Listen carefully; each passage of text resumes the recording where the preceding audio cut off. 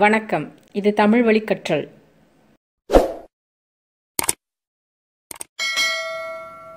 இன்றைக்கி நம்ம இந்த வீடியோவில் ஆறாம் வகுப்பு ஆங்கிலத்தில் இந்த இரண்டாம் தொகுதியில் முதல் யூனிட்டில் ஒரு ப்ரோஸ் ஒரு போயம் ஒரு சப்ளிமெண்ட்ரி முதல் யூனிட்டில் முதல் பாடம் ஸ்போர்ட்ஸ் ஸ்டார்ஸ் இதில் விளையாட்டுகளை பற்றி சொல்லியிருக்காங்க.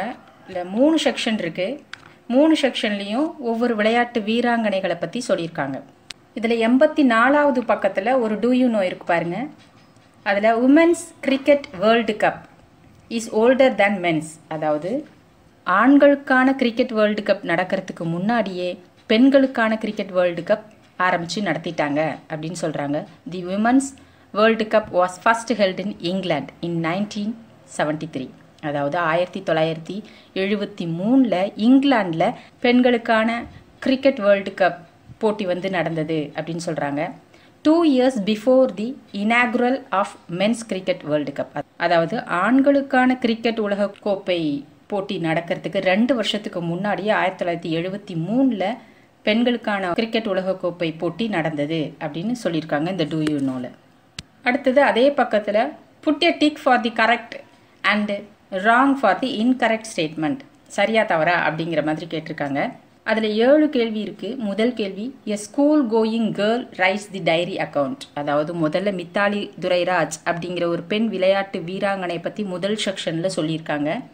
அந்த செக்ஷனில் முதல்லையே ஒரு ஹெட்டிங் பார்த்தீங்க அப்படின்னா இது வந்து இந்த கட்டுரை வந்து ஒரு ஸ்கூல் பாய் எழுதுனது அப்படின்னு இருக்கும். ஸோ இந்த கேள்வி என்ன? A school girl school going girl writes the diary account இந்த கட்டுரை வந்து ஸ்கூலுக்கு போகிற ஒரு பெண் எழுதுனது. அப்படின்னு சொல்லி சொல்லியிருக்காங்க. அது தவறு. ஸ்கூல் கோயிங் பாய் அப்படிங்கிறது தான் கரெக்டு ரெண்டாவது கேள்வி. The boy was so inspired by Mithali that he was happy for his sister to play cricket அதாவது இந்த கேள்வி என்ன அப்படின்னா அதாவது மித்தாலி துரைராஜ் அப்படிங்கிற பெண் விளையாட்டு வீராங்கனையை பற்றி கேள்விப்பட்டு ரொம்பவே ஈர்க்கப்பட்டான் அந்த பையன்.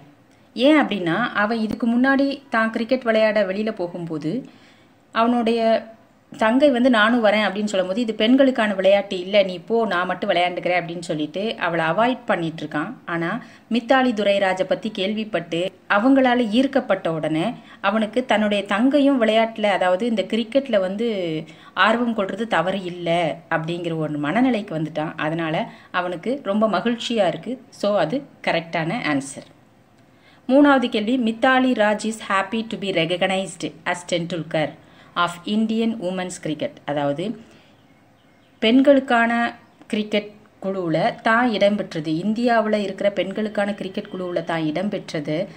டெண்டுல்கரோட கம்பேர் பண்ணி வெளியில் வந்து செய்தி வந்தது. அதை கேட்டுட்டு மித்தாலி துரைராஜ் ரொம்ப சந்தோஷப்பட்டாங்க. ஆமாம் அவங்க தன்னை தெண்டுல்கரோட கம்பேர் பண்ணதை நினச்சி அவங்க சந்தோஷப்பட்டாங்க. சந்தோஷங்கிறது சொல்கிறத விட அது தனக்கான கௌரவம் அப்படின்னு சொன்னாங்க. அந்த கௌரவம் அப்படிங்கிற வார்த்தையை சொன்னதுக்கு அப்புறம் அவங்க சொன்ன வார்த்தை என்ன அப்படின்னா ஆனாலும் கூட ஆண்களோட பெண்களை ஒப்பிடக்கூடாது அப்படிங்கிற ஒரு தன்னுடைய கருத்தையும் அதை அவங்க சொல்லியிருக்காங்க. இருந்தாலும் இந்த இடத்துல டெண்டுல்கரோட கம்பேர் பண்ணதை அவங்க கௌரவங்கிறத விட நம்ம ஹாப்பி அப்படின்னு எடுத்துக்கலாம். ஸோ இது சரியானது. Woman should not be compared with men in cricket says Mithali நாலாவது கேள்வி. பெண்களை ஆண்களோட கிரிக்கெட்டில் கம்பேர் பண்ணவே கூடாது அப்படின்னு மித்தாலி சொல்லியிருக்காங்க. ஆமாம் அவங்க சொல்லியிருக்காங்க அப்படி தான் சொல்லியிருக்காங்க. ஸோ இது நாலாவது ஆப்ஷன் கரெக்ட் ஐந்தாவது Mithali Raj was not encouraged to play cricket by her family members அதாவது அவங்களுடைய சின்ன வயசில் அவங்களுடைய குடும்ப உறுப்பினர்களால் அவங்க என்கரேஜ் படப்படலை அதாவது உற்சாகப்படுத்தப்படலை அப்படின்னு மித்தாலி ராஜ் பற்றி சொல்லியிருக்காங்க. இது தவறு. ஒவ்வொரு தடவையும் அவங்க அப்பா உட்பட அவங்க ஃபேமிலி மெம்பர்ஸ் அந்த ஆண்கள் கிரிக்கெட் விளையாட வெளியில் போகும்போதும் இந்த பெண் குழந்தையா இருக்கும்போது இவங்களையும் கூட்டிகிட்டு போயிருக்காங்க. இவங்களை அந்த விளையாட்டை பார்க்கறதுக்கு அலோவ் பண்ணியிருக்காங்க. அந்த சந்தர்ப்பங்களில் தான் அவங்க வந்து கிரிக்கெட்டை பற்றி தெரிஞ்சிக்கவே ஆரம்பித்தாங்க ஸோ இந்த ஐந்தாவது கேள்விங்கிறது தப்பு. அவங்க ஃபேமிலி மெம்பர்ஸால் அவங்க என்கரேஜ் பண்ணப்பட்டாங்க. அப்படிங்கிறது தான் சரியானது. அடுத்தது ஆறாவது கேள்வி Mithali is one of the woman players to score seven consecutive fifties தொடர்ச்சியாக கான்சிக்யூட்டிவ் அப்படின்னா C O N S E C U T I V E consecutive அப்படின்னா தொடர்ச்சியாக வரிசையாக அப்படின்னு அர்த்தம். வரிசையாக ஏழு தடவை அவங்க ஃபிஃப்டிஸ் எடுத்திருக்காங்க. அப்படி எடுத்த உமனில் அதாவது பெண்களில் மித்தாலியும் ஒருத்தங்க அப்படிங்கிறது தான் இந்த ஆறாவது கேள்வி. இது வந்து தவறு. ஏன்னா முதல் பெண் வந்து மித்தாலி தான். அப்படி எடுத்த முதல் பெண் Mithali is the first woman அப்படின்னு வேணா உமன் அப்படின்னு வேணால் சொல்லலாம். அதுதான் சரியானது. ஸோ இது வந்து தப்பு. ஏழாவது Mithali's mother tongue is Telugu அப்படின்னு கொடுத்துருக்காங்க. இல்லை அவங்க அவங்களுடைய தாய்மொழி வந்து தமிழ். அதனால ஏழாவது கொஸ்டின் தவறானது. அடுத்து ரெண்டாவது செக்ஷனில் உஷாராணி அப்படிங்கிற கபடி துறையில் இருக்கிற பெண் விளையாட்டு வீராங்கனை பற்றி சொல்லியிருக்காங்க. அதில் ஒரு டூ யூனோ இருக்குது அதாவது எண்பத்தி ஐந்தாவது பக்கத்தில் இருக்கிற டூ யூனோ அதில் India has won all six women's kabaddi world cups played from two thousand twelve to two thousand seventeen அதாவது ரெண்டாயிரத்தி பன்னிரெண்டுலேருந்து ரெண்டாயிரத்தி பதினேழு வரைக்கும் நடைபெற்ற விமன்ஸ் கபடி வேர்ல்டு கப் அதாவது பெண்களுக்கான கபடி உலகக்கோப்பை விளையாட்டில் இந்தியா தான் வந்து இந்த வருஷம் பன்னிரெண்டுலேருந்து பதினேழு வருஷம் நடைபெற்ற அந்த அத்தனை போட்டிலையும் ஜெயிச்சிருக்கு அப்படின்னு சொல்கிறாங்க அடுத்தது மூணாவது செக்ஷனில் பிவி சிந்து அதாவது புசார்லா வெங்கட சிந்து அப்படிங்கிற ஒரு பெண் விளையாட்டு வீராங்கனை பேட்மிண்டன் துறையில் விளையாடியிருக்காங்க. இவங்க பகுதியில் அதாவது எண்பத்தி ஒன்பதாவது பக்கத்தில் ஒரு டூ யூனோ இருக்குது பாருங்கள் the second most popular sport in the world is badminton B A D M I N T O N badminton do you know the first popular one it is football அதாவது உலகத்திலேயே ரொம்பவே பாப்புலரான முதல் விளையாட்டு என்ன அப்படின்னா ஃபுட்பால் அப்படின்னு சொல்லியிருக்காங்க. ரெண்டாவது பாப்புலரான விளையாட்டு பேட்மிண்டன் நமக்கு தெரிஞ்சதுலாம் கிரிக்கெட் தான் இல்லையா? ஸோ ஒருவேளை இந்த கிரிக்கெட்டுங்கிறது இந்தியா ஒரு சில நாடுகளில் மட்டும்தான் பிரபலம் போல இருக்குது மொத்த மொத்த உலகம் அப்படின்னு பார்க்கும்போது ஃபுட்பாலும் பேட்மிண்டனும் தான் அடுத்தடுத்து இருக்குது முதல்ல ஃபுட்பால் அடுத்தது பேட்மிண்டன் ஸோ அதுதான் இங்கே the first popular game football the second most popular sport badminton அப்படின்னு கொடுத்துருக்காங்க. அடுத்தது தொண்ணூறாம் பக்கத்தில் பாருங்கள் read the questions related to the three sports stars மூணு பெண்களையும் குத்- கொடுத்துருக்காங்க இங்கே. You have read about and tick the appropriate boxes அவங்கள பற்றி ஒரு ஆறு சென்டென்ஸ் கொடுத்துருக்காங்க. அந்த ஆறு சென்டென்ஸும் ஒவ்வொரு சென்டென்ஸும் யாரை பற்றி சொல்கிறாங்க அப்படிங்கிற அந்த பகுதியில் அவங்களுக்கு கீழே உள்ள பகுதியில் டிக் அடிக்கணும் அப்படின்னு சொல்கிறாங்க ஸோ முதல் கேள்வி who won the Olympic two thousand seventeen silver medal in badminton யார் வந்து ரெண்டாயிரத்தி பதினேழில் நடைபெற்ற ஒலிம்பிக் விளையாட்டில் சில்வர் மெடல் வாங்கினது? அதாவது பேட்மிண்டன் பிரிவில். பேட்மிண்டன் பிரிவில் ரெண்டாயிரத்தி பதினேழில் நடந்த ஒலிம்பிக்கில் சில்வர் மெடல் வாங்கினது யார் அப்படின்னு கேட்குறாங்க அதில் நடுவில் பிவி சிந்து அப்படிங்கிற விளையாட்டு வீராங்கனை இருக்காங்க. அவங்க தான் பேட்மிண்டன் துறையில் இருக்காங்க. ஸோ அவங்க தான் சரியான விடை. ரெண்டாவது கேள்வி who is the role model for her siblings எஸ்ஐபிஎல்ஐஎன்ஜிஎஸ் siblings அப்படின்னா உடன் பிறந்தவர்கள் அப்படின்னு அர்த்தம். ஸோ யார் வந்து கூட பிறந்தவங்களுக்கே ஒரு ரோல் மாடலாக இருக்கா அப்படின்னு கேட்டிருக்காங்க. இந்த கட்டுரை வாசித்து பார்த்தீங்கன்னா தெரியும். அதில் கொடுத்துருக்காங்க. ஸோ இதுக்கான ஆன்சர் மூணாவது. அதாவது உஷாராணி கபடி துறையில் இருக்கிற உஷாராணி அப்படிங்கிறவங்க தான் ஆன்சர் மூணாவது கேள்வி whose mother tongue is Tamil யாருடைய தாய்மொழி? தமிழ் அப்படின்னா ஃபஸ்ட்டு இருக்கிறவங்க. அதாவது து- கிரிக்கெட் துறையில் இருக்கிற மித்தாலி துரைராஜ் என்ற விளையாட்டு வீராங்கனையோட தாய்மொழி தான் தமிழ். அப்புறம் நாலாவது கேள்வி whose attitude is never say die spirit whose attitude A T T I T U D E attitude அப்படின்னா நடவடிக்கை. Whose attitude is never say die spirit அதாவது நெவர் சே டை ஸ்பிரிட் அப்படின்னா இறப்பை பற்றி ஒருபோதும் சொல்லாதே அப்படின்னு அர்த்தம். சாகிறத பற்றியே நினைக்க வேண்டாம். நம்ம இப்போ மட்டும் வாழ்ந்தால் போதும். அதாவது இன்னைய நிலமையில நம்ம ஜெயிக்கிறது மட்டும்தான் குறிக்கோளாக இருக்கணும் அப்படிங்கிறது தான் இதோட அர்த்தம். இது யார் சொன்னாங்க? யார் இது இதுபடி வாழ்ந்தாங்க அப்படின்னு கேட்குறாங்க ஸோ ஆன்சர் ரெண்டாவது பிவி சிந்து பேட்மிண்டன் பேட்மிண்டன் துறையில் இருக்கிற பிவி சிந்து. அடுத்தது ஐந்தாவது கேள்வி which player works in the police department இந்த மூணு பிளேயரில் எந்த பிளேயர் வந்து போலீஸ் டிபார்ட்மெண்ட்டில் இப்போ இருக்காங்க அப்படின்னா மூணாவது உஷாராணி கபடி துறையில் இருக்கிற உஷாராணி தான் இப்போ போலீஸ் டிபார்ட்மெண்ட்டில் இருக்காங்க. ஸோ ஐந்தாவது ஆன்சர் மூணாவது பெண் உஷாராணி ஆறாவது கேள்வி which player holds the record for the highest individual score in cricket cricket துறையிலேயே highest score வச்சிட்ருக்கிற பெண் யார் அப்படின்னு கேட்குறாங்க ஸோ மித்தாலி துரைராஜ் கிரிக்கெட் துறையில் இருக்கிற கேப்டன் மித்தாலி துரைராஜ். அடுத்தது தொண்ணூற்றி ஒன்றாம் பக்கத்தில் ஒரு வெக்காபுலரி இருக்குது பாருங்கள் match the sport and the equipment sport and the equipment தெரியும். அதாவது விளையாட்டும் அந்த விளையாட்டு துறையில் பயன்படுத்தப்படுற பொருள்களும் என்ன அப்படின்னு கேட்குறாங்க எக்ஸாம்பிள் அவங்களே கொடுத்துட்டாங்க கிரிக்கெட்டுக்கு பேட் யூஸ் பண்ணுறாங்க அஞ்சு விளையாட்டு துறை கொடுத்துருக்காங்க football tennis golf volleyball archery இந்த பக்கம் அஞ்சு எக்யூப்மெண்ட் கொடுத்துருக்காங்க அதாவது பவ் அண்ட் ஆரோ அதாவது வில்லும் அம்பும். அடுத்தது கல்ப் சிஎல்யூபி கல்ப் கல்ப்னா அதுவும் ஒரு வகையான பேட் அப்படின்னு தான் அர்த்தம். அடுத்தது நெட் என்இடி நெட் வலை. அப்புறம் ராக்கெட் ஆர்ஏசி கியூயூஇடிஎஸ் ராக்கெட் அப்படின்னா அடிக்கிற மட்டை அப்படின்னு அர்த்தம். அப்புறம் ஹெல்மெட் தெரியும் தலைக்கு போடுறது. இது ரெண் இது ரெண்டு பக்கத்தையும் மேட்ச் பண்ண சொல்லியிருக்காங்க. ஸோ ஃபுட்பாலுக்கு எது பா- அப்படின்னு பார்த்தோன்னா ஹெல்மெட் ஃபுட்பால் விளையாடுறவங்க கண்டிப்பாக ஹெல்மெட் போட்டு தான் விளையாடுவாங்க. அடுத்தது டென்னிஸ் டென்னிஸ்க்கு ராக்கெட் ராக்கெட்னா டென்னிஸ் விளையாடுற அந்த மட்டையை தான் வந்து ராக்கெட் அப்படின்னு சொல்லுவாங்க. அடுத்தது கோல்ஃப். கோல்ஃப் விளையாடுறது தெரியும். இதுதான் கோல்ஃப் அப்படிங்கிற விளையாட்டு. இதில் அவங்க கையில் பிடிச்சிருக்காங்க பாருங்கள் ஒரு ஸ்டிக்கு. அந்த ஸ்டிக்குக்கு பேர் தான் கல்ப் அப்படின்னு. சிஎல்யூபி கல்ப் அப்படின்னு அர்த்தம். அடுத்தது volleyball. V O L L E Y B A L L volleyball அப்படிங்கிற விளையாட்டு. அதில் நடுவில் நெட் கட்டியிருப்பாங்க என்இடி நெட் நெட் கட்டி தான் விளையாடுவாங்க. இந்த பக்கமும் அந்த பக்கமும் ரெண்டு பிரிவாக பிரிஞ்சு. அடுத்தது ஆர்ச்சரி ஏஆர் ஆர்ச்சரி அப்படின்னா தூரத்துலேருந்து அம்பு விடுறது விளையாட்டு. ஸோ அதுக்கு யூஸ்வலாகவே யூஸ் பண்ணுறது பவ் அண்ட் ஆரோ அதாவது அந்த வில்லும் அம்பும். அதுதான் ஆன்சர் அடுத்து தொண்ணூற்றி ஒன்றாம் பக்கத்தில் ஒரு ஐந்து கேள்வி இருக்குது one mark tick the meaning of italicised word italicised அப்படின்னா உண்மை உண்மையில் என்ன அர்த்தம் அப்படின்னா கிண்டலாக சொல்கிறது அப்படின்னு அர்த்தம். ஆனால் இந்த இடத்துல என்ன அர்த்தம் அப்படின்னு பார்த்தோம்னா கொடுத்துருக்கிற வார்த்தைக்கு தகுந்த அதுக்கு ஒத்த வார்த்தையை எடுத்து எழுது அப்படின்னு அர்த்தம். பொதுவாக இட்டாலிக் அப்படின்னாலே அது சார்ந்த எழுத்து அப்படின்னு அர்த்தம். ஸோ இட்டாலிசைஸ்ட் அப்படின்னா அதுக்கு தொடர்புடைய வார்த்தை அதற்கு ஒத்து வரக்கூடிய வார்த்தையை எடுத்து எழுது அப்படின்னு அர்த்தம். ஸோ இப்போ கேள்விக்கு போகலாம்.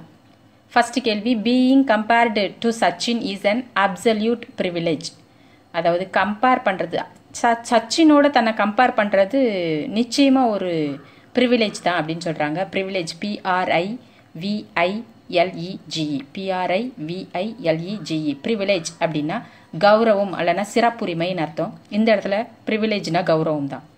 ஸோ இந்த நாலு ஆப்ஷனில் ஏ தான் கரெக்டான answer honour H O N O U R honour ஹானர்னா கௌரவம் அப்படின்னு அர்த்தம். ஸோ ஆன்சர் ஹானர் ரெண்டாவது the boy was taken by surprise when he learnt about Mithali Dorairaj அதாவது மித்தாலி துரைராஜை பற்றி கேள்விப்பட்டப்போ அந்த பாய் ரொம்ப சர்ப்ரைஸ் ஆனா? அப்படின்னு சொல்கிறாங்க சர்ப்ரைஸ்னா வியப்பு அப்படின்னு அர்த்தம். இங்கே நாலு ஆப்ஷன் கொடுத்துருக்காங்க. Affected mood amazed upset amazed அப்படின்னா திகைப்பு அப்படின்னு கூட ஒரு அர்த்தம் வரும். ஸோ இந்த இடத்துல அந்த பாய் வந்து சர்ப்ரைஸ் வியப்படைகிறத விட அவன் திகைப்படைஞ்சான். ஏன்னா இது வரைக்கும் அவங்க அந்த பையன் பெண் விளையாடணும் அப்படின்ட்டு கருத்தை ஒத்துக்கவே இல்லை. ஆனால் மித்தாலி துரைராஜை கேள்விப்பட்டதுக்கப்புறம் அந்த எண்ணம் மாறிடுச்சு அவனுக்கு. ஸோ முத முதல்ல அவங்கள பற்றி ஒரு பெண் விளையாட்டு வீராங்கனையை பற்றி கேள்விப்படும் போது அவன் லேசான திகைப்பு கலந்த வியப்படைந்தான் அப்படிங்கிறது தான் சரியான விடை. ஸோ சர்ப்ரைஸ் அப்படின்னா இங்கே மூணாவது ஆப்ஷன் அமேசிங் அப்படின்னு அர்த்தம். அமேஸ்ட் ஏஎம்ஏ இசட்இடி சரியான ஆன்சர் சி அமேஸ்ட் அடுத்தது மூணாவது கேள்வி Usharani had to struggle all through her life பொதுவாக ஸ்ட்ரகிள் எஸ்டிஆர்யூஜிஜிஎல்இ ஸ்ட்ரகிள் அப்படின்னா போட்டி அப்படின்னு அர்த்தம். அதாவது போராட்டம். ஸ்ட்ரகிள் அப்படின்னா என்னது? போராட்டம் அப்படின்னு அர்த்தம். ஆனால் இந்த இடத்துல நம்ம எடுத்துக்கிறது போட்டித்துறை போட்டி அப்படின்னு எடுத்துக்கணும் வாழ்க்கை பூரா அவங்க போட்டி போட்டுக்கிட்டே இருந்தாங்க அப்படிங்கிற அர்த்தம் தான் வரும். ஸோ இந்த நாலு option fight duel fun work hard அப்படிங்கிறது. இதில் ஃபஸ்ட் ஆப்ஷன் ஃபைட் அப்படிங்கிறது தான் சரியான விடை. ஏன்னா அவங்க இந்த இடத்துல சண்டை ஃபைட்னா சண்டைங்கிறது அர்த்தம் கிடையாது. போராட்டம் அப்படின்னு அர்த்தம். போட்டின்னு கூட ஒரு அர்த்தம் வரும். ஃபைட் அப்படின்னா அவங்க ஃபைட் பண்ணிகிட்டே இருந்தாங்க. அவங்க வாழ்க்கையை வாழ்க்கை முழுவதும் போராட்டம் தான் அப்படின்னு நம்ம சொல்லுவோம் இல்லையா? ஆனால் அவங்க போராட்டத்தையே வாழ்க்கையாக எடுத்துக்கிட்டாங்க. எப்போவுமே மற்றவங்களோட விளையாட்டு ரீதியாக போராடிட்டே இருக்கணும் அப்படிங்கிற ஒரு அர்த்தம்.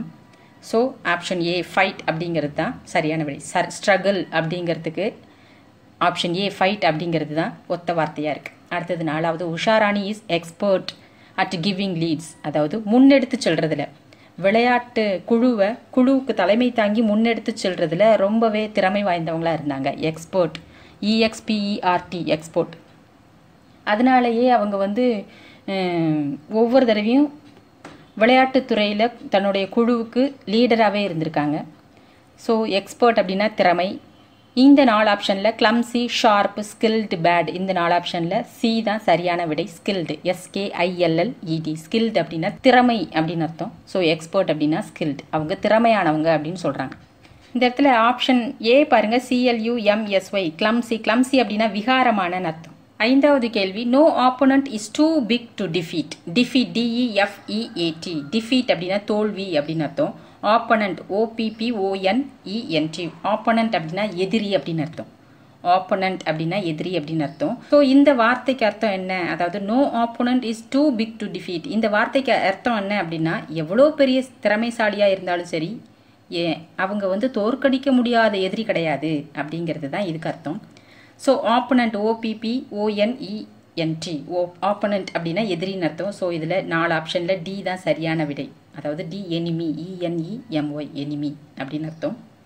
இதில் காம்படிட்டர் சிஓஎம்பிடிஐடிஓஆர் காம்படிட்டர்னா போட்டியாளர்னு அர்த்தம். ரிவல் அப்படின்னா போட்டின்னு அர்த்தம். ஸோ இது எதுவுமே சரி கிடையாது. நாலாவது ஆப்ஷன் எனிமி அப்படிங்கிறது தான் சரியான விடை. அடுத்து தொண்ணூற்றி இரண்டாம் பக்கத்தில் ஒரு ஃபில்லப்ஸ் கொடுத்துருக்காங்க பாருங்க. Fill in the blanks with the opposite of the word given the brackets ப்ராக்கெட்டில் ஒரு வார்த்தை கொடுத்துருக்காங்க. அதுக்கு ஆப்போசிட்டாக தான் போடணும். அப்படி போட்டால் தான் அந்த சென்டென்ஸ் ஃபுல் ஃபார்ம் கரெக்டாக வரும் அப்படின்னு சொல்கிறாங்க ஸோ நம்ம ஆப்போசிட் பார்ப்போம். முதல் கேள்வி we should learn from our dash நம்மளுடைய எதில் இருந்து நம்ம கற்றுக்கொள்ள வேண்டியது இருக்குது அப்படின்னு சொல்கிறாங்க எதில் இருந்து அப்படின்னா ப்ராக்கெட்டில் சக்ஸஸ் சக்ஸஸ்னால் வெற்றி. வெற்றியிலேருந்து யாரும் எதுவுமே கற்றுக்க மாட்டாங்க. சந்தோஷம் மட்டும்தான் இருக்கும் இல்லையா? ஆனால் தோல்வியிலேருந்து தான் நம்ம பாடமே கற்றுக்குவோம் எப்படி வளர்த்து விளையாடக்கூடாது? எப்படி வந்து நம்ம வழியை நிர்ணயிச்சிக்கக்கூடாது அப்படின்னு கற்றுக்கிறதே தோல்வியிலேருந்து தான் ஸோ சக்ஸஸ் எஸ்யூசிசிஇஎஸ்எஸ் சக்ஸஸ் அப்படின்னா வெற்றி. அதற்கு ஆப்போசிட் அதாவது எதிர்ச்சொல் ஃபெயிலியர் எஃப்ஏஐஎல்யூஆர்இ ஃபெயிலியர் ரெண்டாவது question children don't like to read dash books ப்ராக்கெட்டில் இன்ட்ரெஸ்டிங் அப்படின்னு கொடுத்துருக்காங்க. ஐஎன்டிஇஆர் இஎஸ்டிஐஎன்ஜி interesting children don't like to read dash books அதாவது குழந்தைங்களுக்கு பிடிக்காது. என்ன புக்கு வாசிக்கிறது குழந்தைங்களுக்கு பிடிக்காது அப்படின்னா போரான புக்கு அங்கே ப்ராக்கெட்டில் இன்ட்ரெஸ்டிங்னு கொடுத்துருக்காங்க. ஸோ போரான புக்கு வாசிக்கிறதுக்கு அவங்களுக்கு பிடிக்காது. அதாவது இன்ட்ரெஸ்டிங்க்கு ஜஸ்ட் ஆப்போசிட் வேர்டு மட்டும் கேட்டாங்க அப்படின்னா அன்இன்ட்ரெஸ்டிங் அப்படின்னு சொல்கிறது தான் சரியாக இருக்கும். அதாவது யூஎன் ஐஎன்டிஇஆர் இஎஸ்டிஐஎன்ஜி அன்இன்ட்ரெஸ்டிங் அப்படிங்கிறது தான் சரியான எதிர்ச்சொல். ஆனால் இந்த சென்டென்ஸை பொறுத்த வரைக்கும் நம்ம அன்இன்ட்ரெஸ்டிங் புக்ஸ் அப்படின்னு சொல்ல மாட்டோம். குழந்தைங்களை பொறுத்த வரைக்கும் போரான புஸ்தகம் படிக்க விரும்ப மாட்டாங்க அப்படின்னு தான் சொல்லுவோம் இல்லையா? ஸோ இன்ட்ரெஸ்டிங்க்கு ஆப்போசிட் நம்ம போரிங்கை இந்த இடத்துல எடுத்துக்கலாம். பிஓஆர் ஐஎன்ஜி போரிங் அடுத்து மூணாவது question be dash when you are telling us what you need what you need உனக்கு என்ன தேவை? வாட் யூ நீட் உனக்கு என்ன தேவை? When you are telling us you are telling us நீ எங்கள்கிட்ட சொல்லும் பொழுது when you are telling us நீ எங்கள்கிட்ட சொல்லி கொண்டிருக்கும் பொழுது உனக்கு தேவை என்ன அப்படிங்கிறத நீ எங்கள்கிட்ட சொல்லும்போது எப்படி இருக்கணும்? ப்ராக்கெட்டில் ஜென்ரல் பொதுப்படையாக இரு பொதுவான விஷயங்களை பேசு. ஜென்ரல் ஜிஇஎன்இஆர்ஏஎல் ஜென்ரல் அப்படின்னா பொதுப்படையாக மட்டும் பேசு. உனக்கு என்ன தேவைங்கிறத சில பேர் இப்படி வள வளன்னு பேசுவாங்கல்ல. அதுதான் ஜென்ரல் அப்படின்னு அர்த்தம். இந்த இடத்துல. இந்த இடத்துல அதுக்கு அர்த்தம் ஜென்ரல் வளவளன்னு பேசாத. உனக்கு என்ன தேவைங்கிறத எங்கள்கிட்ட சொல்லும் போது சரியாக குறிப்பிட்டு சொல்லு அப்படின்னு சொல்லுவோம் இல்லையா? அந்த சரியான குறிப்பிட்டு அப்படிங்கிற வார்த்தைக்கு தான் பர்டிகுலர் அப்படின்னு அர்த்தம். P R T I C U L E R particular ஜென்ரலுக்கு opposite particular இந்த இடத்துல. ஸோ ஜென்ரல் அப்படின்னா பொதுப்படையான விஷயங்களை பற்றி பேசுகிறது ஆனால் இந்த இடத்துல பொதுப்படையான விஷயம் பேசாத உனக்கு என்ன தேவைங்கிறத சரியாக சொல்லு அப்படிங்கிற அர்த்தம் வர்றதுனால பர்டிகுலர் பி பர்டிகுலர் குறிப்பிட்டு சொல்லும்படியாக இரு. Be particular P A R T I C U L A R particular so ஜென்ரலுக்கு opposite particular அடுத்தது நாலாவது question the teacher asked the children to dash talking பொதுவாக மிஸ் என்ன சொல்லுவாங்க? ஸ்டாப் டாக்கிங் இது தானே சொல்லுவாங்க. So start S T A R T ஸ்டார்ட்டுக்கு opposite stop S T O P stop அடுத்தது ஐந்தாவது question the new boss decided to dash the lazy workers ப்ராக்கெட்டில் appoint A P P O I N T appoint அப்பாயிண்ட்னா நியமிக்கிறதுன்னு அர்த்தம். Appoint பண்ணுறது அப்படின்னா நியமிக்கிறது. Lazy workers அப்படின்னா சோம்பேறியான அதாவது வேலை செய்யாமல் டிமிக்கி கொடுப்பாங்களே அந்த மாதிரியான ஒர்க்கர்ஸ் எல்லாம் நோட் பண்ணிவிட்டு அவங்கள பாஸ் என்ன செய்கிறார் டி டிசைட் பண்ணுறாரு என்ன வந்து முடிவெடுக்கிறாரு அப்படின்னா அப்பாயிண்ட் பண்ணுறதுக்கு ஆப்போசிட் அதாவது வேலையிலேருந்து நீக்க முடிவெடுக்கிறாரு. பொதுவாக வேலையிலேருந்து நீக்கிறது அப்படின்னா நம்ம டிஸ்மிஸ் பண்ணுறது அப்படின்னு தான் நம்ம இங்கிலீஷ் இருக்கும். அதாவது ஆறாம் வகுப்புக்கு அப்பாயிண்ட் அப்படின்னா opposite word dismiss D I S M I S S நீக்கிறது அப்படின்னு சொல்லலாம். ஆனால் உண்மையில் பொதுப்படையாக கொஞ்சம் பெரிய ஆளுங்களாம் சொல்லும் போது பாஸ் வந்து ஃபயர் பண்ணிட்டாரு அப்படின்னு தான் சொல்லுவாங்க. எஃப்ஐஆர்இ ஃபயர் ஃபயர் அப்படின்னா நீக்கிறது அப்படிங்கிறது ஒரு அர்த்தம் கூட இருக்குது ஸோ நியூ பாஸ் அப்படிங்கிறப்போ இப்போதைக்கு வந்து நமக்கு டிஸ்மிஸ் அப்படின்னு எடுத்துக்கலாம். இல்லை அப்படின்னா நல்ல அக்யூரேட்டான இப்போ உள்ள ட்ரெண்டான வார்த்தை வேணும் அப்படின்னா ஃபயர் அப்படிங்கிறது கூட எடுத்துக்கலாம். அப்பாயின்மெண்ட்டுக்கு அதாவது அப்பாயிண்ட்டுக்கு ஆப்போசிட் டிஸ்மிஸ் இல்லைன்னா fire F I R E fire அப்படின்னு கூட எடுத்துக்கலாம். அப்புறம் அதே பக்கத்தில் பாருங்கள் ஒரு நாலு பிக்சர் கொடுத்துருக்காங்க நாலு விளையாட்டு கொடுத்துருக்காங்க. என்ன அப்படின்னா முதல் படம் தண்ணிக்குள்ளே நீந்துற மாதிரி இருக்குது அது ஸ்கியூபா டைவிங் அப்படின்னு அந்த விளையாட்டுக்கு பேர். அதாவது ஆழ்கடல் நீச்சல் அப்படின்னு சொல்லுவாங்க. அடுத்த படம் வந்து என்ன விளையாட்டு அப்படின்னா ஒயிட் வாட்டர் ராஃப்டிங் அப்படின்னு பேர். இதுக்கு தமிழில் வெள்ளை நீர் படகு அப்படின்னு சொல்லுவாங்க. அது என்ன வார்த்தைன்னு எனக்கு புரியல. ஆனால் இது என்ன விளையாட்டு அப்படின்னா காடுகள்லையும் பள்ளத்தாக்குலையும் ஆறு வரும்போது அது ஒரு ஆக்ரோஷமாக பாஞ்சிட்டு வரும் இல்லையா? அந்த பாய்தலில் வந்து படகு செலுத்துகிற திறமை மிக்கவங்க இந்த விளையாட்டில் ஈடுபடுவாங்க. அடுத்தது மூணாவது சி படம் வந்து பேராகிளைடிங் அப்படின்னா மலை உச்சியிலிருந்து பேராஷூட்டுலேருந்து குதிக்கிறது. அடுத்தது நாலாவது ஸ்கையிங் அப்படின்னா பனிச்சறுக்கு. இப்போ இதிலிருந்து ஐந்து கேள்வி. ட்ரூ ஆர் ஃபால்ஸ் அப்படின்னு கேட்டிருக்காங்க. ட்ரூனா டி எழுதணும். ஃபால்ஸ்னா எஃப் எழுதணும். முதல் கேள்வி Himachal Pradesh is an ideal place for paragliding இந்த அஞ்சு கேள்விக்கும் ஆன்சர் எங்கே இருக்குது அப்படின்னா புஸ்தகத்தில் கடைசி பக்கத்தில் இருக்குது அதை வந்து அங்கேயே அதுலேயே கொடுத்துருக்காங்க பாருங்கள் அந்த அஞ்சு கேள்விக்கு கீழேயே text for listening is in page number one thirty nine கடைசி ஒன் தேர்ட்டி நைனில் ஒரு நாலு விளையாட்டை பற்றி கொடுத்துருக்காங்க. அந்த விளையாட்டில் இருந்து தான் அந்த கொடுத்துருக்குற அந்த கட்டுரையிலேருந்து தான் அந்த கேள்வி அஞ்சு கேள்வியும் கொடுத்துருக்காங்க. ஸோ நம்ம அதில் கூட இதோட ஆன்சரை பார்த்துக்கலாம். ஸோ ஃபஸ்ட்டு கேள்வி Himachal Pradesh is an ideal place for paragliding ஆமாம் மழை மேலே இருந்து பேராக்ளைடிங் மூலமாக அந்த பேராஷூட் மூலமாக குதித்து விளையாடுற விளையாட்டுக்கு ரொம்பவே அது தகுதியான இடம். ஸோ ட்ரூ ஆன்சர் ட்ரூ ரெண்டாவது skiing skiing offers opportunities to delve into oceans delve D E L V E delve அப்படின்னா ஆய்ந்தறிந்து அப்படின்னு அர்த்தம். அதாவது கடலில் ஆய்ந்தறிந்து அப்படின்னு கொடுத்துருக்காங்க. ஆனால் ஸ்கை அப்படி இல்லையே. பனிச்சிருக்கு தானே அங்கே கடல் எங்கே வந்துச்சு? ஸோ இது வந்து ராங் தவறு ஃபால்ஸ் அப்படின்னு ஆன்சர் எஃப் அடுத்து மூணாவது paragliding is also a recreational adventure sport recreational அப்படின்னா பொழுதுபோக்கு அப்படின்னு அர்த்தம். ஆர்இசிஆர்இஏடிஐஓஎன்எல் ரீக்ரியேஷனல் அப்படின்னா பொழுதுபோக்கு அப்படின்னு அர்த்தம். Paragliding is also a recreational adventure sport அப்படின்னு சொல்லியிருக்காங்க. ஆமாம் பொழுதுபோக்குக்காக தான் விளையாடுறாங்க. அட்வென்ச்சர் ஏடிவிஇஎன் டியூஆர்இ அட்வென்ச்சர் அப்படின்னா துணிகரமாக சாகசம் பண்ண விரும்புகிறவங்க அப்படின்னு அர்த்தம். ஸோ பேராக்ளைடிங்கும் அந்த மாதிரி ஒரு பொழுதுபோக்கு அம்சம்தான். அந்த மாதிரியப்பட்டவங்களுக்கு. துணிவாக சாகசம் பண்ணக்கூடியவங்களுக்கு இது ஒரு பொழுதுபோக்கு அப்படின்னு சொல்லியிருக்காங்க. ஆமாம் ஏன்னா மலை மேலே இருந்து குதிக்கிறது வந்து அவ்வளோ ஒரு சாதாரண விஷயம் இல்லை இல்லையா? ஸோ ஆன்சர் ட்ரூ நாலாவது question scuba diving S C U B A scuba diving D I V I N G scuba diving அப்படின்னா ஆழ்கடல் நீச்சல் அப்படின்னு அர்த்தம். Has a huge following all over the world உலகம் முழுவதும் நிறைய பேர் அதை ஃபாலோ பண்ணுறாங்க அப்படின்னு சொல்கிறாங்க உலகம் முழுவதும்னா உலகம் முழுவதும் கடல் இருக்கணும் இல்லையா? கடல் புறத்தில் அதுவும் சில குறிப்பிட்ட இடங்களில் மட்டும்தான் ஸ்கூபா டைவிங்கிறது சாத்தியம். அதனால் இது வந்து ஃபால்ஸ் உலகம் பூரா இல்லை குறிப்பிட்ட இடங்களில் மட்டும்தான் இருக்குது அடுத்தது ஐந்தாவது கேள்வி. The most suitable period for skiing is March to June அதாவது skiing S K I I N G skiing அப்படின்னா பனிச்சருக்கு அப்படின்னு அர்த்தம். இது வந்து மார்ச்லேருந்து ஜூன் வரைக்கும் உள்ள பீரியட் அப்படின்னு சொல்கிறாங்க இல்லை ஃபால்ஸு நீங்கள் நூற்றி முப்பத்தி ஒன்பதாவது பக்கம் பார்த்தீங்கன்னா இதுக்கான ஆன்சர் இருக்குது அது வந்து டிசம்பர்லேருந்து ஏப்ரல் வரைக்கும் அப்படின்னு கொடுத்துருக்காங்க. ஸோ இதுவும் தவறான விடை. ஃபால்ஸ் ஐந்தாவது ஆன்சர் ஃபால்ஸ் எஃப் அடுத்து தொண்ணூற்றி நாலாவது பக்கத்தில் ஒரு ஆறு படம் இருக்குது பாருங்கள் முதல் படம் hot tea T E A tea அப்படிங்கிறது நவுன் ஒரு பெயர்ச்சொல் ஹாட் டீ அப்படின்னா அந்த பெயர்ச்சொல் அந்த நவுன் எப்படிப்பட்ட டீயாக இருக்குது அப்படின்னு சொல்கிறாங்க அடுத்தது பியூட்டிஃபுல் ஃப்ளார் அழகான மலர். மலருங்கிறது ஒரு நவுன் அதாவது பெயர்ச்சொல் அழகு அப்படிங்கிறது அந்த ஃப்ளார் எப்படி இருக்குது அப்படிங்கிறது விவரிக்கிற வார்த்தை. அதே மாதிரி டிஐ சிஇ டைஸ் அப்படின்னா பகடை அப்படின்னு அர்த்தம். டூ டைஸ் அப்படின்னா இரண்டு பகடை இருக்குது எத்தனை இருக்குது ஸோ நம்பரும் இருக்குது அடுத்தது கீழே பிஏஎல்டி பேல்டு ஹெட் அப்படின்னா வழுக்கை தலை அப்படின்னு அர்த்தம்.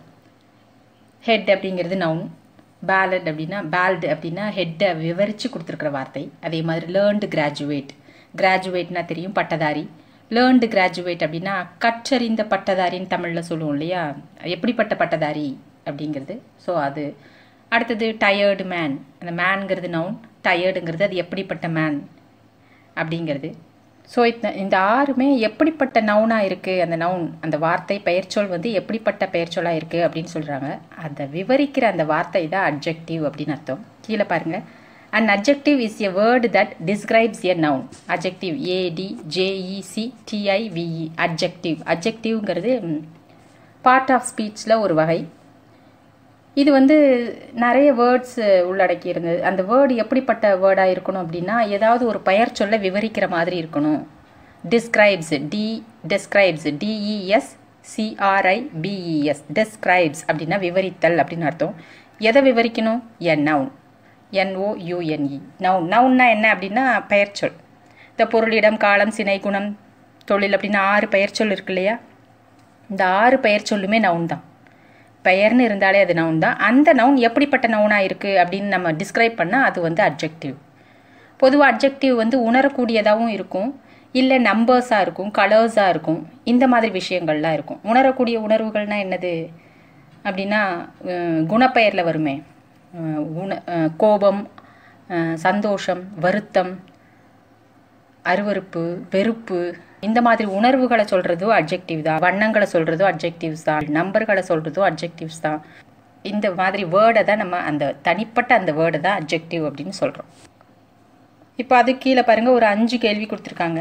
Look at the picture and fill the fill in the blanks with suitable words அதாவது அவங்க கொடுத்துருக்கிற இடத்துல நம்ம சூட்டபிளான வார்த்தைகளை போட சொல்லியிருக்காங்க. ஃபஸ்ட்டு கேள்வி பாருங்கள் there is a dash ground in my school இப்போ நமக்கு தேவையானது அந்த கிரவுண்டுங்கிற ஒரு வார்த்தை தான். ஜிஆர்ஓயூஎன்டி கிரவுண்டுனா மைதானம்.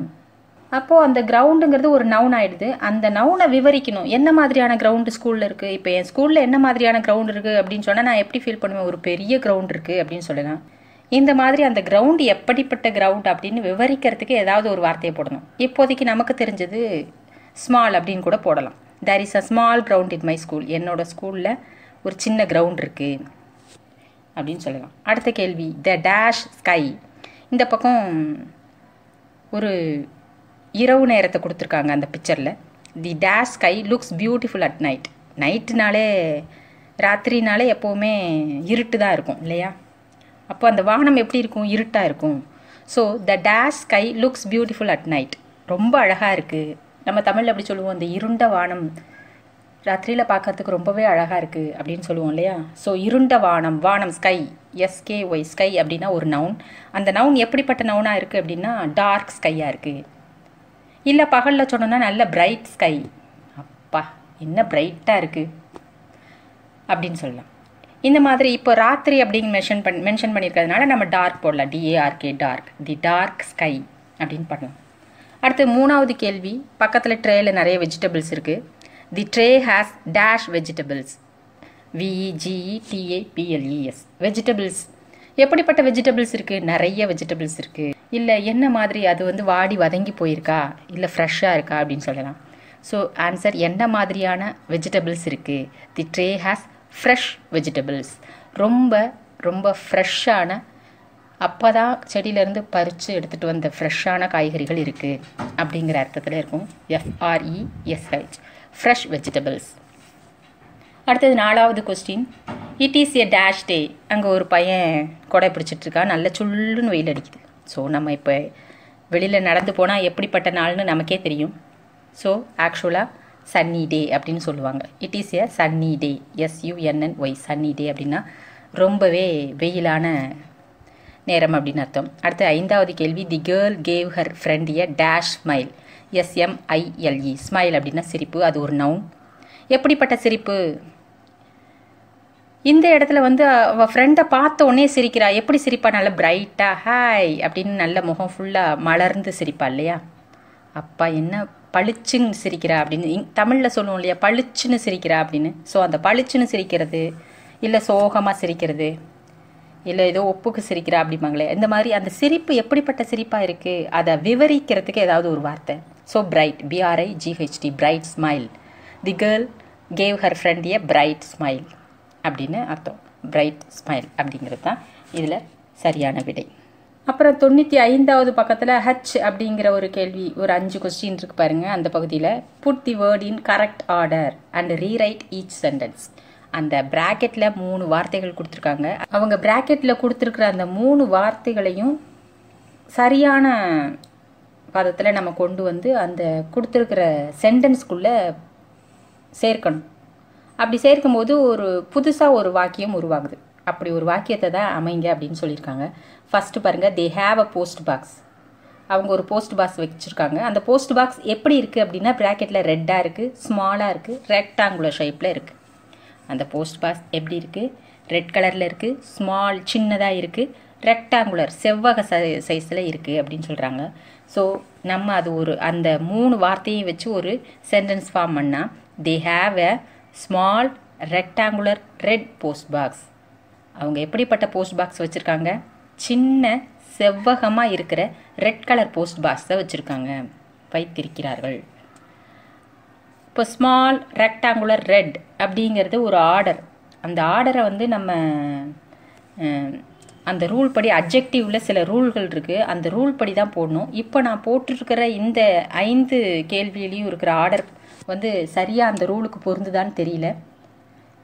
ஒருவேளை அது தவறாக இப்போ நான் கொடுத்துருக்குற ஆன்சர் தவறாக இருந்தால் எனக்கு தெரியப்படுத்துங்க. நானும் அதை கற்றுக்கிறேன் ஸோ என்னை பொறுத்த வரைக்கும் இது சரிதான் அப்படின்னு நினைக்கிறேன். The have a small rectangular red post box அடுத்தது ரெண்டாவது கேள்வி ஐ ஹாவ் ஸ்டிக்ஸ் என்கிட்ட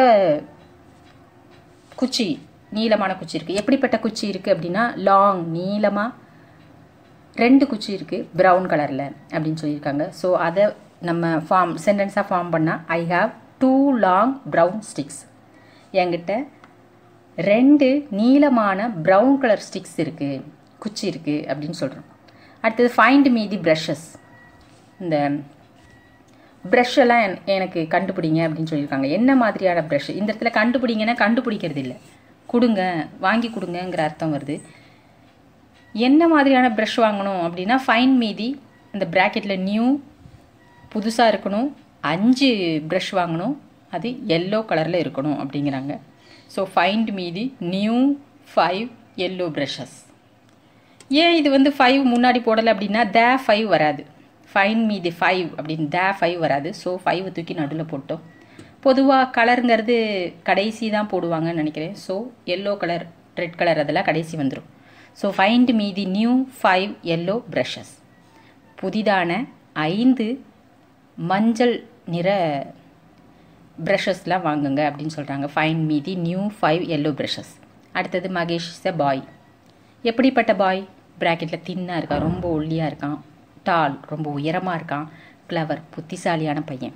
So Mahesh is a thin tall clever boy Mahesh is a thin tall clever boy அடுத்தது ஐந்தாவது கேள்வி. இட் இஸ் எ பிளேட் இது ஒரு தட்டு. எப்படிப்பட்ட தட்டு?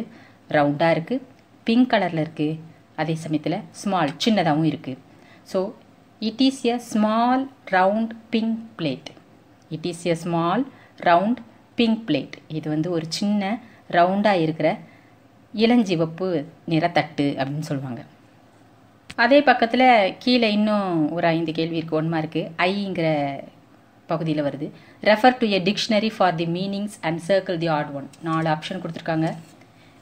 அந்த ஆப்ஷன்லேருந்து அவங்க கொடுத்துருக்குற அந்த வேர்டோட ஒத்து வராத வேர்டு எது அப்படின்னு பார்த்து அதை சர்க்கிள் பண்ண சொல்லியிருக்காங்க.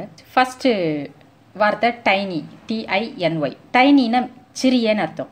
ரொம்ப சின்ன அப்படின்னு சொல்லுவாங்க. டைனி அப்படிங்கிறது சின்ன. ஸோ அதே மாதிரி நாலு ஆப்ஷன் இருக்குது அதில் இந்த சின்ன அப்படிங்கிற அர்த்தத்தில் வராத ஒரு வார்த்தை எது அப்படின்னு பார்த்தோம் ஸ்மால் அப்படின்னா சின்ன தெரியும். அடுத்து லிட்டில் அப்படின்னா அதுவும் கொஞ்சம். அடுத்து பியூஎன்ஒய் பியூனி அப்படின்னா மெலிந்த மெல்லிய அப்படின்னு அர்த்தம். இதுவும் ஓரளவுக்கு இந்த டைனியோட ஒத்து போகுது. அடுத்தது எனாரமஸ் இஎன்ஓஆர்ஓ யூஎஸ் எனாரமஸ் அப்படின்னா மிகப்பெரிய அப்படின்னு அர்த்தம். எனாரமஸ் அப்படின்னா மிகப்பெரியன்னு அர்த்தம். ஸோ இந்த நாலு ஆப்ஷனில் ஸ்மால் எனாரமஸ் லிட்டில் பியூனி அந்த நாலு ஆப்ஷனில் என்ஆர்எம்எஸ் தான் வித்தியாசமாக பெருசாக இருக்குது அப்படின்னு அர்த்தம். ஸோ அது மட்டும்தான் வித்தியாசமானது. அடுத்து ரெண்டாவது ஆம்பிள் ஏஎம்பிஎல்இ ஆம்பிள் அப்படின்னா தாராளமான அப்படின்னு அர்த்தம். தாராளமான ஆம்பிள்னு என்னது? தா தாராளமான. இது நாலு ஆப்ஷன் பாருங்க. கிரேட் கிரேட்னா தெரியும் உயர்ந்த. அடுத்தது பிளென்டிஃபுல் அப்படின்னா பிளென்டிஃபுல்னா மிகுதியானன்னு அர்த்தம். ரொம்ப மிகுதியான அப்படின்னு அர்த்தம். அடுத்தது ஜெனரஸ் ஜிஇஎன் இஆர்ஓஎஸ்இ ஜெனரஸ் அப்படின்னா பெருந்தன்மை உள்ள ரொம்ப தாராள மனசு கொண்டவங்க அப்படின்னு சொல்லுவாங்க இல்லையா? ஸோ ஜெனரஸ் அப்படின்னு அர்த்தம். அடுத்தது பாருங்கள் ஆர்இஎஸ்டிஆர்ஐ சிடிஇடி ரெஸ்ட்ரிக்டட் ரெஸ்ட்ரிக்டட் அப்படின்னா வரையறுக்கப்பட்டது. ரெஸ்ட்ரிக்டட் ஏரியா அப்படின்னு சொல்லுவாங்க இல்லையா? இது வந்து வரையறைக்குட்பட்டது உள்ள நுழையாதீங்க அப்படிங்கிற மாதிரி. அதாவது தாராளமாக இல்லாமல் அதுக்கு ஆப்போசிட்டாக ரெஸ்ட்ரிக்டட் அப்படின்னு அர்த்தம் வரையறுக்கப்பட்டது. ஸோ இந்த நாலு ஆப்ஷனில் எது வந்து தனிப்பட இருக்குது அப்படின்னா ரெஸ்ட்ரிக்டட் தான். கிரேட் பிளென்டிஃபுல் ஜெனரஸ் அப்படின்லாம் அர்த்தம் என்ன அப்படின்னா ரொம்ப தாராளமான இல்லை மிகுதியான அப்படிங்கிற அர்த்தத்தில் வந்துடுது இந்த ரெஸ்ட்ரிக்டட் மட்டும்தான் வரையறுக்கப்பட்டது. ஸோ அது மட்டும்தான் வித்தியாசமானது. ரெஸ்ட்ரிக்டட் தான் ஆன்சர் அடுத்தது கைண்ட் மூணாவது கேள்வி. கைண்ட்னா தெரியும். ரொம்ப கனிவானது. இதில் நாலு ஆப்ஷன் கொடுத்துருக்காங்க. ஹாஸ் ஹைச்ஏஆர் எஸ்ஹெச் ஹாஷுங்கிறது ரொம்ப கடினமான வார்த்தை அப்படின்னு அர்த்தம். Concerned C O N C E R N E D கன்சர்ன்னா அக்கறைப்படுதல். அடுத்தது சேரிட்டபிள் சிஹெச்ஏ ஆர்ஐடிஏபிஎல்இ சேரிட்டபிள் அப்படின்னா தொண்டு செய்தல் தொண்டு அப்படின்னு அர்த்தம். ஜென்டில் ஜிஇஎன் டிஎல்இ ஜென்டில் அப்படின்னா கனிவு. ஜென்டில்னா கனிவு. ஸோ இந்த நாலு ஆப்ஷன் பாருங்க. ஹாஷ் கன்சர்ன்ட் சேரிட்டபிள் ஜென்டில் இந்த நாலில் ஹாஷ் தான் கடினமானது வித்தியாசமானது. ஸோ இந்த ஹாஷ் தான் ஆன்சர் அடுத்தது நாலாவது பாருங்கள் ஹானஸ்ட் ஹானஸ்ட்னா நேர்மையானது தெரியும். அடுத்தது ரிலையபிள் அப்படின்னா நம்பத்தகுந்த அப்படின்னு அர்த்தம். ஆர்இஎல்ஐ ஏபிஎல்இ ரிலையபிள் அப்படின்னா நம்பத்தகுந்த. ட்ரஸ்டி டிஆர்யூஎஸ்டிஒய் ட்ரஸ்டி அப்படின்னா அதுவும் தெரியும். நம்பிக்கையான. அடுத்து சின்சியர் எஸ்ஐஎன் சிஇஆர்இ சின்சியர் அப்படின்னா நேர்மையான. அடுத்தது டெசீட்ஃபுல் எஃப்யூஎல் டெசீட்ஃபுல் அப்படின்னா வஞ்சகம் அப்படின்னு அர்த்தம். ஸோ ஹானஸ்ட்னா நேர்மையான இப்போ மற்ற மூணு ஒரே அர்த்தமாக இருக்குது ஆனால் அந்த டெசீட்ஃபுல் தான் வித்தியாசமானதாக இருக்குது ஸோ அதுதான் சரியான ஆன்சர் டெசீட்ஃபுல் தான் வித்தியாசமானது. அடுத்தது அஞ்சாவது சியர்ஃபுல் சியர்ஃபுல்னா குதூகலம் சந்தோஷம் மகிழ்ச்சி அப்படின்னு அர்த்தம். அடுத்து பாருங்க பிரைட் பிஆர்ஐ ஜிஹெச்டி பிரைட் அப்படின்னா இப்போ சொல்லுவாங்க இல்லையா என்ன முகம் ரொம்ப பிரைட்டாக இருக்குது ரொம்ப சந்தோஷமாக இருக்கிற மாதிரி இருக்குது அப்படின்னு சொல்லுவோம் இல்லையா? ஸோ அந்த கேட்டகரியில் வரும் பிரைட்னா அடுத்தது எல்ஓடபிள்யூ லோ அப்படின்னா ரொம்ப என்ன சொல்கிறது லோனா ரொம்ப கீழிறங்கிய அப்படின்னு அர்த்தம்.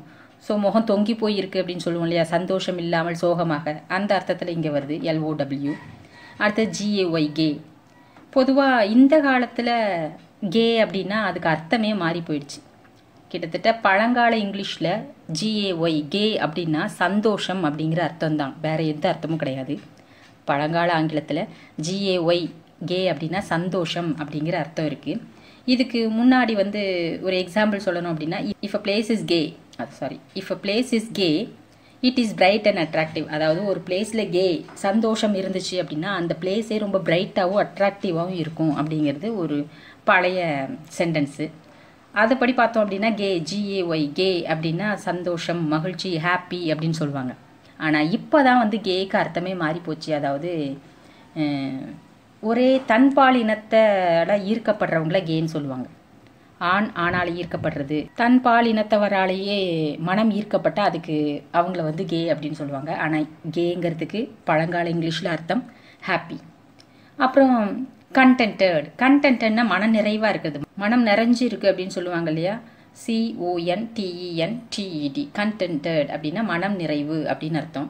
ஸோ இந்த சியர்ஃபுல் அப்படிங்கிறதுக்கு பிரைட் கே கண்டென்டட் எல்லாமே ஒரே அர்த்தமாக இருக்குது ஆனால் அந்த லோங்கிறது மட்டும்தான் வேறு அர்த்தம். எல்ஓடபிள்யூஓ எல்ஓடபிள்யூ அப்படிங்கிறது தான் வேறையாக இருக்குது ஸோ அதுதான் ஆட் ஒன் எல்ஓடபிள்யூ அப்படிங்கிறது தான் ஆன்சர் அடுத்தது தொண்ணூற்றி ஏழாம் பக்கத்தில் பாருங்கள் லாங்குவேஜ் செக் பாயிண்ட்னு ஒன்று இருக்குது அதில் பாருங்கள் என்ன சொல்லக்கூடாது என்ன சொல்லணும்னு போட்டிருக்காங்க. அதுக்கான ரீசன் என்ன அப்படின்னு கொடுத்துருக்காங்க. Kovai is further from Chennai than Trichy. அதாவது சென்னையிலிருந்து கோவை இருக்கிற தூரத்தை விட திருச்சியிலேருந்து கோவை போகிற தூரம் வந்து ரொம்பவே கம்மி தான் அப்படிங்கிறாங்க. திருப்பி சொல்லணும் அப்படின்னா கோவையிலேருந்து சென்னைக்கு ரொம்ப தூரம் போகணும் திருச்சிக்கு சீக்கிரம் போயிடலாம் அப்படிங்கிற மாதிரி. கோவை இஸ் ஃபர்தர் எஃப்யூஆர்டிஹெச்இஆர் ஃபர்தர் இந்த இடத்துல ஃபர்தர் போடக்கூடாது. அதாவது இந்த ஸ்பெல்லிங் நம்ம யூஸ் பண்ணக்கூடாது. எந்த ஸ்பெல்லிங் யூஸ் பண்ணணும் அப்படின்னா அடுத்தது சரியான வார்த்தையில் பாருங்கள் கோவை இஸ் ஃபர்தர் இதுவும் ப்ரொனன்சியேஷன் ஃபர்தர் தான். ஃப்ரம் சென்னை தான் திருச்சி. இந்த இடத்துல ஃபர்தர் எஃப்ஏஆர் டிஹெச்இஆர் ஃபர்தர் ஏன் வந்து எஃப்யூஆர் யூஸ் பண்ணக்கூடாது? ஏன் எஃப்ஏஆர் யூஸ் பண்ணணும் அப்படின்னா ஃபேர் அப்படின்னா ஃபேர்னா ரொம்ப தூரம். ஃபேர் அவே அப்படின்னு சொல்கிறோம் இல்லையா? ரொம்ப தூரம். ஸோ ஃபர்தர் அப்படிங்கிறது தூர கணக்குக்கு சொல்கிறது ஆனால் எஃப்யூஆர் டிஹெச்இ ஃபர்தர் அப்படின்னா இன்னும் அடிஷ்னலாக என்ன?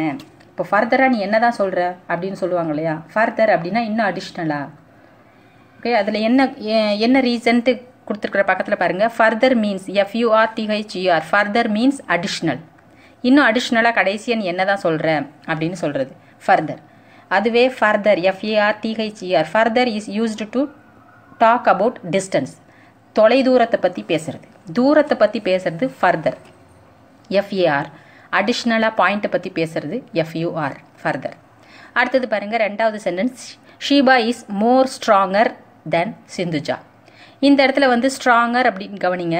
எஸ்டிஆர்ஓ என்ஜி ஸ்ட்ராங் அப்படின்னா ரொம்ப வலுவானவள். Stronger E R strongest E S T strong stronger strongest இது வந்து கம்பேரிட்டிவ் ஸோ கம்பேரிட்டிவ்க்கான அந்த e இஆருங்கிறது நம்ம அந்த ஸ்ட்ராங்கர்லேயே போட்டுட்டோம். அப்போ நம்ம மோர் போட அவசியமே இல்லை. எம்ஓஆர் போட அவசியமே இல்லை. ஏதாவது ஒன்று போட்டால் போதும். ஸோ இஆருங்கிற e வார்த்தையை நம்ம சேர்த்துட்டதுனால எம்ஓஆர் தேவையில்லை. ஸோ கரெக்டான answer Sheeba is stronger then Sindhuja Sheeba is stronger then Sindhuja சிந்துஜாவை விட ஷீபா ரொம்ப ஸ்ட்ராங்கான பொண்ணு அப்படிங்கிறாங்க. இப்போ இந்த குறிப்பில் பாருங்கள் அவாய்ட் டபுள் கம்பேரிட்டிவ்ஸ் ஒரு வார்த்தையில் ஒரு தடவை கம்பேரிட்டிவ் வந்தால் போதும். ரெண்டு கம்பேரிட்டிவ் தேவையில்லை. Adjectives of one syllable usually from their comparatives by adding E R one சிலபலில் வர்ற அந்த வார்த்தை வந்து இஆர் தான் முடியணும். அதுக்கு மேலே உள்ள சிலபல் வந்தால் தான் சிலபல்னால் தெரியும்ல அந்த பிரிக்கிறது. இது அப்பா அப்படின்னு தமிழில் இருந்துச்சுன்னா எப்படி பிரிப்போம்? அப்பான்னு மொத்தமாக சொல்ல மாட்டோம். அப் ஒரு பகுதியும் பா ஒரு பகுதியும் அப்பா அப்படின்னு ரெண்டு பகுதி பிரிப்போம் இல்லையா? அந்த மாதிரி தான் சிலபல் அப்படின்னாலே வார்த்தைகளை பிரிக்கிறது. இப்போ பியூட்டிஃபுல் அப்படிங்கிறப்போ பியூட்டி ஃபுல் அப்படிங்கிற ரெண்டாக பிரிப்போம் இல்லையா? அந்த மாதிரி. ப பிரிக்கிறது தான் சிலபல் ஸோ ஒரே சிலபல் வந்துச்சுன்னா அதில் இயர் சேர்க்கலாம். ஸ்ட்ராங் அப்படிங்கிறத பிரிக்க முடியாது. ஒரே சிலபல் தான். அதில் இயர் சேர்க்கலாம். ஆனால் ஒன்றுக்கு மேலே பிரிக்கக்கூடிய அந்த வார்த்தைகள் வந்தால் தான் நம்ம மோர் போடணும். இப்போ பியூட்டிஃபுல் நான் சொன்னேன் இல்லையா? அதுக்கு மோர் பியூட்டிஃபுல் போடலாம். பியூட்டிஃபுல் பின்னாடி இஆர் சேர்க்க முடியாது. பியூட்டிஃபுல்லர் அப்படின்னு ஒரு வார்த்தையே கிடையாது. அதே மாதிரி தான் கம்பேரிட்டிவில் நீங்கள் கிராமர் கம்பேரிட்டிவில் படிப்பீங்க. இப்போ தெரிஞ்சுக்க வேண்டியது என்ன அப்படின்னா ரெண்டு கம்பேரிட்டிவ் போட வேண்டாம். ஒன்று இஆர் போடணும் இல்லைனா மோர் போடணும். ஏதாவது ஒன்று தான் போடணும். ஸோ ஒரே ஒரு சிலபிள் வந்து அந்த இடத்துல இஆர் சேர்க்கலாம். ஸோ அதுதான் அவங்க சொல்லியிருக்காங்க. Adjectives of one syllable usually from their comparatives by adding E R to the positive positive strong அப்படிங்கிறது. Comparative E R stronger adjectives with more then two syllable take more ரெண்டு சிலபிளுக்கு மேலே இருந்துச்சுன்னா நம்ம மோர் யூஸ் பண்ணலாம் அப்படின்னு சொல்லியிருக்காங்க. அடுத்தது மூணாவது question my elder sister is six feet high இந்த ஹைச் ஐ ஜி ஹைச் இந்த ஹைங்கிறது பொதுவாக உயிரற்ற பொருள்களுக்கு தான் சொல்லுவாங்க. ரொம்ப உயரமாக இருக்குது அப்படின்னு நம்ம தமிழில் சொல்லுவோம். அதே மாதிரி மனுஷங்க எவ்வளோ உயரமாக இருக்காங்க அப்படின்னு சொல்லுவோம். உயரம்ங்கிறது தமிழில் ஒரே ஒரே வார்த்தைக்கு யூஸ் பண்ணுவோம். ஆனால் இங்கிலீஷில் உயிரற்ற பொருள்களுக்கு ஹை அப்படிங்கிறதையும் உயிருள்ளவங்களுக்கு டால் அப்படிங்கிறதையும் யூஸ் பண்ணுவாங்க. So my elder sister is six feet tall அப்படிங்கிறது தான் சரியான ஆன்சர் ஹைன்னு யூஸ் பண்ணக்கூடாது. குறிப்பில் பாருங்கள் we generally use tall with people பீப்புளுக்கு தான் நம்ம டால் யூஸ் பண்ணுவோம். And it's the opposite of short short அப்படிங்கிறது பீப்புளுக்கு ஷார்ட் யூஸ் பண்ணுவோம் இல்லை டால் யூஸ் பண்ணுவோம். இதுவே வந்து பில்டிங் ட்ரீஸு மவுண்டன்ஸ் அந்த மாதிரி எல்லாம் இருந்துச்சுன்னா நம்ம உயரமாக இருந்த ஹை குறைவாக உயரம் குறைவாக இருந்தால் லோ அதாவது use high when referring to trees buildings or mountains and it is the opposite of low பொதுவாக உயிரற்ற பொருள்கள் உயரத்தை பற்றி குறிக்கணும் அப்படின்னா ஹை பீப்புளுக்கு டால் அதுதான் இங்கே சொல்லியிருக்காங்க. அடுத்தது தொண்ணூத்தெட்டாம் பக்கத்தில் போயம் இருக்குது அதில் நிறைய ரைமிங் வேர்டெலாம் இருக்குது ரைமிங் வேர்ட்னால் கடைசியில் வர்ற வார்த்தைகள் வந்து ஒரே மாதிரி ப்ரொனன்சியேஷனோடு இருக்கணும். தொண்ணூற்றி ஒன்பதாம் பக்கத்தில் அபவுட் தி ஆத்தர் பாருங்கள் இந்த போயம் எழுதின ஆத்தர் பேர் வந்து எட்கர் ஆல்பர்ட் கெஸ்ட் அப்படிங்கிறவர். Edgar Albert Guest began his illustrious illustrious அப்படின்னா சிறப்புமிக்க அப்படின்னு அர்த்தம். ஐஎல்எல் யூஎஸ்டிஆர்ஐஓயூஎஸ் இலஸ்ட்ரியஸ் அப்படின்னா சிறப்புமிக்க அப்படின்னு அர்த்தம். கெரியரின் eighteen ninety five at the age of fourteen அதாவது பதினாலு வயசில் தான் அவரோட கெரியர் ஆரம்பிச்சிருக்காங்க. When his work first appeared in the Detroit Free Press அதாவது இது வந்து ஒரு லார்ஜஸ்ட் டெய்லி நியூஸ் பேப்பர் அதோட பேர் வந்து டெட்ராய்ட் ஃப்ரீ ப்ரெஸ் அப்படிங்கிறது. அந்த நியூஸ் பேப்பரில் தான் அவர் ஃபஸ்ட்டு ஃபஸ்ட்டு தன்னோட ஒர்க்கை வந்து ஆரம்பித்தார் அந்த கரியர் ஆரம்பித்தப்போ அவருக்கு வயது வந்து fourteen his column was syndicated அப்படின்னா ஆட்சிக்குழு இந்த இடத்துல வந்து அவர் அவரோட காலம் அதாவது அவர் பாடல் எழுதிய அந்த பாடல் ஆட்சி புரிந்த காலம் அப்படிங்கிற அர்த்தத்தில் வரும். முந்நூறு நியூஸ் பேப்பர்ஸில் அவர் வேலை பார்த்துருக்காரு கிட்டத்தட்ட. He came to be known as the poet of the people அவருக்கு ஒரு பட்டமும் கொடுத்துருக்காங்க அவரோட ஒர்க்கை பார்த்து. ஸோ அந்த பட்டம் என்ன அப்படின்னா the poet of the people அப்படிங்கிற பட்டத்தை கொடுத்துருக்காங்க. கிட்டத்தட்ட முந்நூறு நியூஸ் பேப்பர் பரில் வேலை பார்த்துருக்காரு. Guest was made poet laureate of Michigan அதாவது கெஸ்ட்னா அந்த ஆத்தரோட பேர். ஜியூஇஎஸ்டி கெஸ்ட் அப்படின்னா ஆத்தரோட பேர். அதாவது Guest was made poet laureate of Michigan the only poet to have been awarded the title இந்த டைட்டில் இது வந்து ஒரு title poet laureate of Michigan ஒரு டைட்டில் இந்த டைட்டிலை வாங்கின ஒரே ஆள் வந்து எட்ஜர் அல்பர்ட் கெஸ்ட் அப்படிங்கிறவர். His poem often had an inspirational and optimistical இன்ஸ்பிரேஷனல்னால் தெரியும் உத்வேகத்தை கொடுக்கறது. கேட்குறவங்களுக்கு பார்த்தோலே அப்படி ஒரு உணர்ச்சி மிக்க உணர்வுகள் எழக்கூடிய விதத்தில் அவரோட போயம் அமையுமா? அதே சமயம் அந்த போயமை கேட்டாலே ஒரு நம்பிக்கை தளராத நம்பிக்கை வந்து மனசுக்குள்ளே எழும் அப்படின்னு சொல்கிறாங்க ஆப்டிமிஸ்டிக்கல் அப்படின்னா ஆப்டிமிஸ்டிக் அப்படின்னா தளராத நம்பிக்கை கொண்ட அப்படின்னு அர்த்தம். வியூ ஆஃப் எவ்ரிடே லைஃப் தினம் தினம் நம்ம போராட்டமான வாழ்க்கையில் இவரோட போயமை வந்து கேட்டோம் அர்த்தம் புரிஞ்சுக்கிட்டோம் அப்படின்னா நமக்கு வந்து நம்பிக்கை கொடுக்கக்கூடிய போயமாக அமையுது அப்படின்னு சொல்லியிருக்காங்க. ஸோ அந்த அளவுக்கு இவரோட போயம் இருக்குது அப்படின்றாங்க.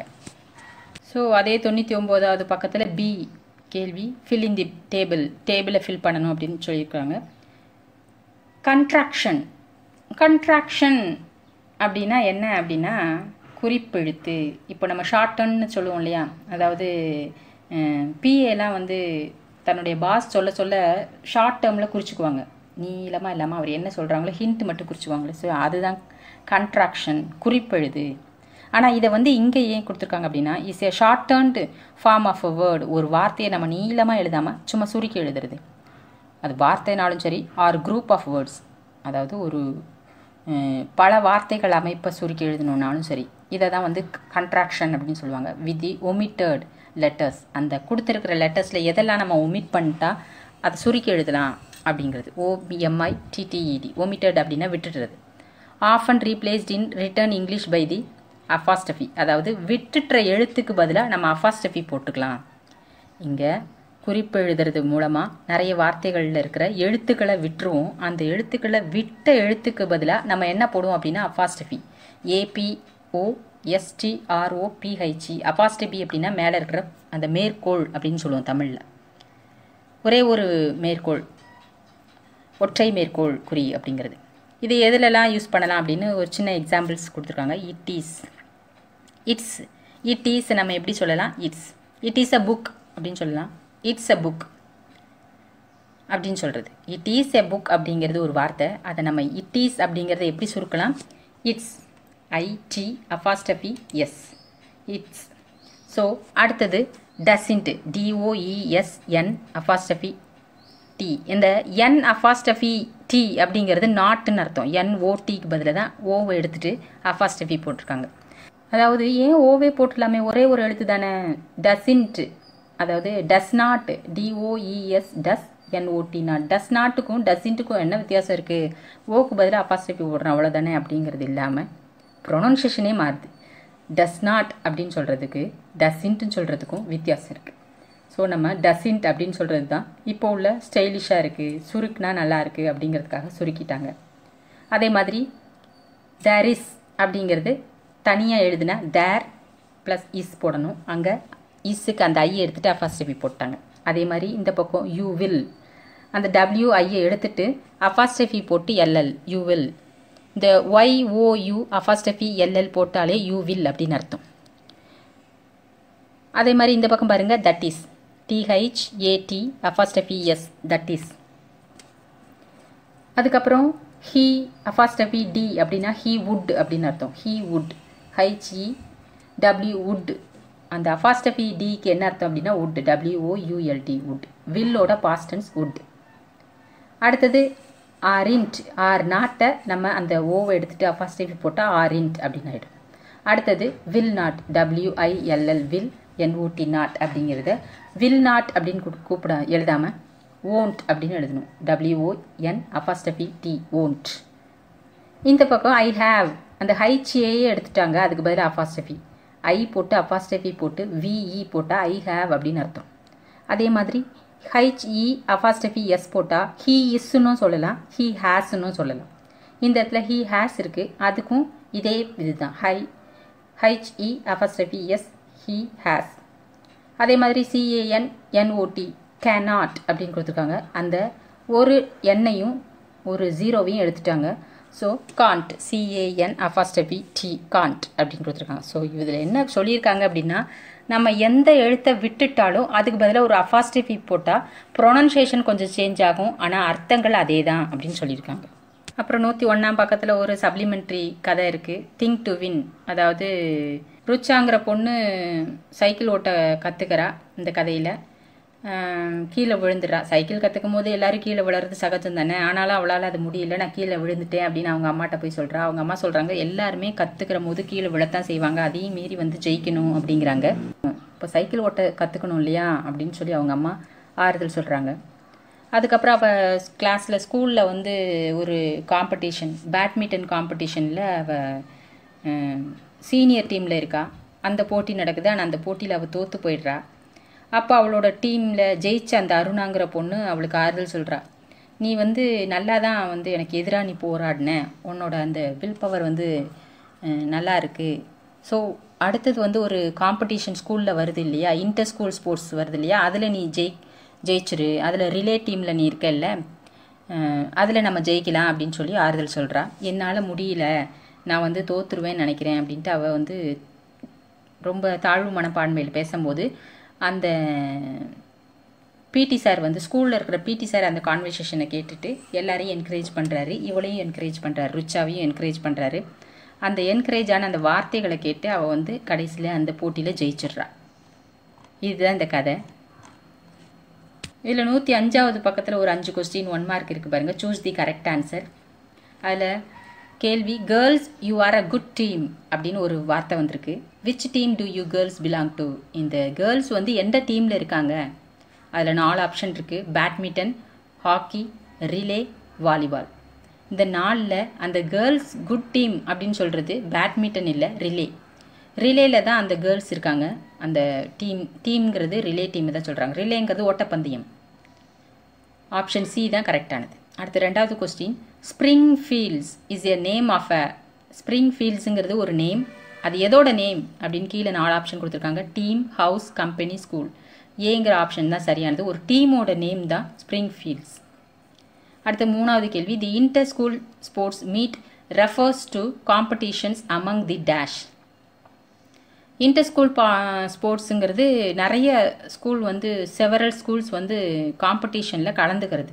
அப்படி என்னென்ன ஸ்கூல்ஸு எங்கேருந்து வந்திருக்காங்க அப்படின்னு கேள்வி கேட்குறாங்க ஸ்டீம்ஸ் அதில் வந்து நாலு ஆப்ஷன் இருக்குது அதில் டி நாலாவது ஆப்ஷன் தான் வந்து கரெக்டானது ஸ்கூல்ஸ் ஃப்ரம் அதர் டிஸ்ட்ரிக்ஸ் நிறைய பல் பலதரப்பட்ட ஸ்கூல் பள்ளிகள் வந்து கலந்து கொண்டிருக்காங்க. அது எல்லாமே மற்ற டிஸ்ட்ரிக்ட்லேருந்து வந்திருக்காங்க. அடுத்து நாலாவது கேள்வி. சீமா இஸ் ருச்சாஸ் சீமா வந்து ருச்சாவுக்கு என்ன வேணும் அப்படின்னு கேட்டிருக்காங்க. அதில் ஆப்ஷன் சி யங்கர் சிஸ்டர் சின்ன பொண்ணு தங்கச்சி தான் வந்து ருச்சாவோட தங்கச்சி தான் சீமா அப்படிங்கிறவ. அடுத்து ஐந்தாவது கேள்வி. Order the names of the members in team B relay event அதாவது டீம் பியில் வந்து ருச்சா இருக்காங்க. அதில் வந்து Shabnam was followed by Shabnam தான் ஃபஸ்ட்டு ஃபஸ்ட்டு அந்த ஓடக்கூடிய பொண்ணு அந்த நாள் அந்த டீமில் இருக்கிறவ ஷப்னம் தான் முதல்ல ஓடிட்டு வந்து அந்த குச்சியை அடுத்தவள்கிட்ட கொடுக்கணும். அடுத்தவ ஓடிட்டு வந்து இன்னொருத்தர்கிட்ட கொடுக்கணும். அந்த ஸ்டிக்கு கொடுப்பாங்க இல்லையா? தொடர் ஓட்டம் அப்படின்னு சொல்லுவாங்க இல்லையா? அந்த மாதிரி. நாலு பொண்ணுங்க வரிசையாக அந்த டீமில் இருக்காங்க. கடைசியாக தான் ருச்சா இருக்கா. அவள் தான் கடைசி ஃபஸ்ட்டு வந்தால் தான் அந்த டீம் ஜெயிக்கும். கடைசி அந்த ஸ்டிக்கை வாங்கிட்டு ஓடுறவ. ஸோ ஷப்னம்மை ஃபாலோ பண்ணிவிட்டு யாரெல்லாம் அடுத்தடுத்து வராங்க அப்படின்னு கேட்குறாங்க ஸோ ஏ ஆப்ஷன் ஏ தான் கரெக்ட் ஃபஸ்ட்டு நீலம். ஷப்னம் வந்து ஒரு ரவுண்டு ஓடிட்டு நீலம்கிட்ட கொடுக்குறா அந்த ஸ்டிக்கை நீலம் ஒரு ரவுண்டு ஓடிட்டு அருணாங்கிற பொண்ணுக்கிட்ட அந்த ஸ்டிக்கை கொடுக்குறா. அருணா ஓடிட்டு கடைசியில் ருச்சா கிட்ட கொடுக்குறா. ருச்சா தான் வந்து அந்த டீமை ஜெயிக்க வைக்கிறா. So Shabnam was followed by answer A Neelam Aruna Rucha இந்த ஆர்டரில் தான் வருது. முதல்ல நீலம் அப்புறம் அருணா வரா அதுக்கப்புறம் கடைசியாக ருச்சா அப்புறம் நூற்றி ஏழாம் பக்கத்தில் பாருங்கள் ஃபஸ்ட்டு டிஇஏஎம் டீம் அப்படிங்கிறதுக்கு விரிவாக்கம் கொடுத்துருக்காங்க. இது கூட ஒரு ஒன் மார்க்கில் கேட்க சான்ஸ் இருக்குது டிஇஏஎம் அப்படின்னா together every one achieves more ஒன்றா சேர்ந்து எல்லாரும் ஒரு விஷயத்தை அச்சீவ் பண்ணுறதுக்கு கொண்டு போகிற இது தான் team together every one achieves more together every one achieves more அப்படிங்கிற ஷார்ட் ஃபார்ம் தான் டீம் இதில் வந்து traits key traits for working in a team அதாவது டீமாக ஒர்க் பண்ணுறதுக்கு ட்ரைட்ஸு ட்ரைட்ஸ்னால் பண்புகள். பண்புகள் என்ன அப்படின்னு கேட்டிருக்காங்க. ஒரு டீமாக ஒர்க் பண்ணுறதுக்கு என்னென்ன பண்புகள் வேணும்? ட்ரைட்ஸ் டிஆர்ஏஐடிஎஸ் ட்ரைட்ஸ் அப்படின்னா பம் பண்புகள். ஒரு டீமாக வந்து ஒர்க் பண்ணுறதுக்கு என்னென்ன பண்புகள் வேணும் அப்படின்னா பாசிட்டிவிட்டி முதல்ல நேர்மறையாக சந்திக்கணும். Positivity positivity P O S I T I V I T positivity அப்படின்னா நேர்மறையாக சிந்திக்கணும். நெகட்டிவாக சிந்திக்காமல் எதிர்மறையாக சிந்திக்காமல் நேர்மறையாக சிந்தி அப்படின்னு சொல்லுவாங்களே அதான். பிலீவ் இன் யுவர் செல்ஃப் முதல்ல உங்களை நம்புங்க. அப்புறம் take part in competitions C O M BE டிஐடிஐஓஎன்எஸ் competitions prayer activities அதாவது இது குழந்தைகளுக்கானது அதாவது பள்ளி சிறுவர் சிறுமிகளுக்கானது. அவங்க வந்து காம்படிஷன்லேயும் ப்ரேயர் ஆக்டிவிட்டீஸ்லேயும் பங்கு பெறுங்க அப்படின்னு சொல்கிறாங்க அப்போ தான் வந்து ஒரு டீம் ஒரு குழுவாக வந்து எப்படி நடந்துக்கணும் ஒரு குழுவில் அப்படிங்கிற பண்புகள் வளரும் அப்படின்னு சொல்கிறாங்க அடுத்தது ரெண்டாவது கம்யூனிகேஷன் கம்யூனிகேஷன்னா தெரியும் தொடர்பு. Interact with your classmate teammates and teachers at the right time சரியான நேரத்தில் உங்களுடைய தொடர்பை வந்து நிலைநிறுத்திக்கோங்க அப்படிங்கிறதா இதுக்காக சொல்ல வர கருத்து. அதாவது தொடர்பு இருந்தால் மட்டும்தான் தன்னுடைய திறமையை ஒருத்தன் வளர்த்துக்க முடியும் அப்படிங்கிறது உண்மை. தனிப்பட வந்து தன்னுடைய திறமையை யாரும் வளர்த்துக்க முடியாது. ஒரு குழுவிலையோ இல்லை இன்னொருத்தவங்களோட ஜாயின் பண்ணியோ வளரக்கூடிய திறமை வந்து ஆரோக்கியமான போட்டின்னு சொல்லுவாங்க இல்லையா? அந்த மாதிரியான ஒரு தொடர்பு அப்படிங்கிற பண்பை தான் இங்கே சொல்கிறாங்க கம்யூனிகேஷன் அப்படின்னு. அடுத்தது டெடிகேஷன் டெடிகேஷன் அப்படின்னா அர்ப்பணிப்பு. எந்த ஒரு செயலாக இருந்தாலும் அர்ப்பணிப்புங்கிறது ரொம்ப முக்கியம். Put your heart and soul உன்னோட இதயத்தையும் உன்னோட உயிரையும் உயிர்னா இந்த இடத்துல வந்து ஆன்மா அப்படின்னு அர்த்தம். Into whatever you do நீ என்ன செஞ்சாலும் சரி உன்னோட ஆன்மா கூட அதில் வந்து ரொம்ப முனைப்பாக ஈடுபடுற மாதிரியான செயலை செய்யு. To turn your dreams into reality உன்னுடைய கனவு வந்து நிஜமாக்கு. அதாவது கனவு அப்படின்னா உண்மையான கனவு. சந்தோஷமான கனவு கிடையாது. குறிக்கோளோடு இருக்கிற கனவை உண்மையாக்கிறதுக்கு நீ முதல்ல உன்னை அர்ப்பணிக்கணும். அந்த முழு பணிக்கும் உன்னை முழுமையாக அர்ப்பணிக்கணும் அப்படிங்கிறாங்க. டெடிக்கேஷனுங்கிறது அர்ப்பணிப்பு. இது ஒரு பண்பும் வளரும். அடுத்து வில்லிங் வில்லிங்கிறது மனம் வந்து எதையுமே செய்கிறது ஆர்வமாக செய்கிறது வேண்டா வெறுப்பா இதை செஞ்சாகணுமே அப்படின்னு செய்யாமல் எதையுமே வந்து ஆர்வமாக செய்கிறது never let an opportunity slip by எந்த உனக்கு வர்ற எந்த வாய்ப்பையும் வந்து நீ நடுவு விட்டுறாத அப்படிங்கிறாங்க. அப்புறம் take part in scholastic and co scholastic activities willingly அதாவது ஸ்காலஸ்டிக் அப்படின்னா அறிவார்ந்த விஷயங்கள் பாடம் சம்பந்தமான விஷயங்கள்னு இதில் எடுத்துக்கலாம். கோ ஸ்காலஸ்டிக் அப்படின்னா அந்த எக்ஸ்ட்ரா கரிக்குலர் ஆக்டிவிட்டீஸ்னு சொல்லுவாங்களே அந்த மாதிரியான இணை அறிவாற்றல் அப்படின்னு அர்த்தம் இந்த இடத்துல. அந்த மாதிரியான ஆக்டிவிட்டீஸில் நம்மளே ஆசைப்பட்டு மனப்பூர்வமாக அதில் ஜாயின் பண்ணணும். அப்படி வந்து ஜாயின் பண்ணுறதுக்கான பண்பை வளர்க்குறதும் இந்த டீம் தான் அப்படிங்கிறாங்க.